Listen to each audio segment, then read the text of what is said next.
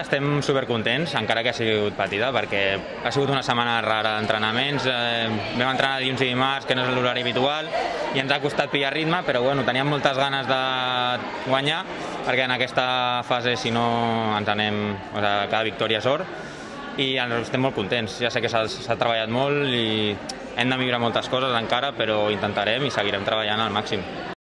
Perquè un equip, bueno, cada, cada periòdicament ens anem fent temps d'antígens i un company va sortir positiu, ens vam confinar i fins, és el que t'he dit, aquesta setmana ha sigut uns entrenaments una mica especials i eh, per això encara volíem tornar a competir al màxim i, i guanyar. Home, l'objectiu principal és salvar la categoria, eh, perquè a aquest club eh, li va costar aconseguir aquesta categoria, és una categoria important, que, que costa mantenir-la i costa arribar fins aquí. Per tant, l'objectiu principal és, és mantenir-la i millorar en pilota, sobretot. No, eh, els tres primers són els que se salven, els tres últims són els que baixen. Per tant, la nostra mentalitat sempre és quedar els primers, perquè si ens deixem d'històries de problemes i això, però l'objectiu és salvar-se.